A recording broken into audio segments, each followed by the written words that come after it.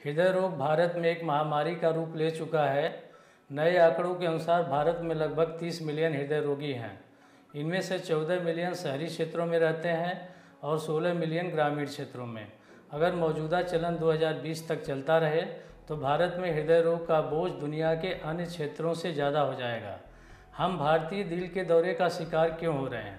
हमारी जीवन शैली में हृदय रोग के जोखिम के कई कारण शामिल हैं।